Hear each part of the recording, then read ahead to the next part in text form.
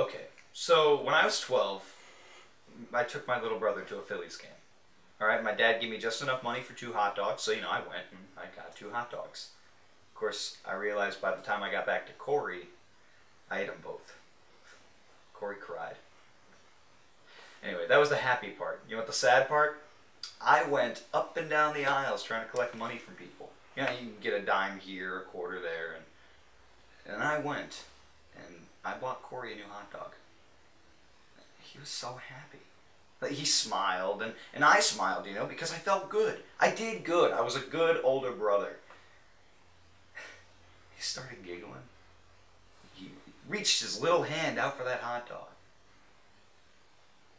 Bam, took a foul ball right smack dab to the head. Knocked him unconscious. Corey doesn't giggle